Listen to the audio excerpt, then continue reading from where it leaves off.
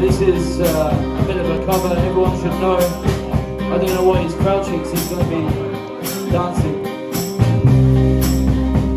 Let's go then.